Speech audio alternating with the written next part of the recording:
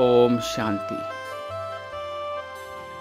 Sweet elevated versions to be read in morning class on the day of remembrance of Pitashri.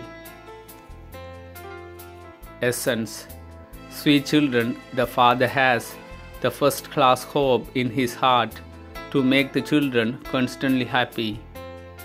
The Father wants his children to become worthy and the masters of heaven. Continue to chase away the consciousness of the body.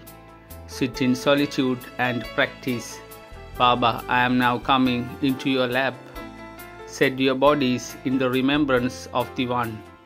This is known as solitude. Deities are very well known. It is said, this one's nature is very much like that of a deity. He has a very sweet and peaceful nature. So the Father too is pleased to see such children.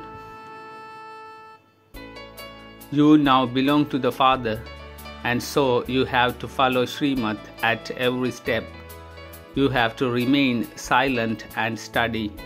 Simply remember the One Father. Stay in the stage of being a destroyer of obstacles. This is the way to remain cheerful. Nothing new is the final stage. It is not the final stage when you have to remove a thorn that has pricked you.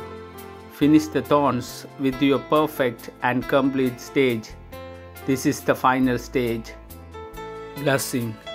May you be an example like Father Brahma and experience closeness to perfection while keeping busy in doing service. Slogan To experience karma and yoga in every action is Karma Yoga. Om Shanti.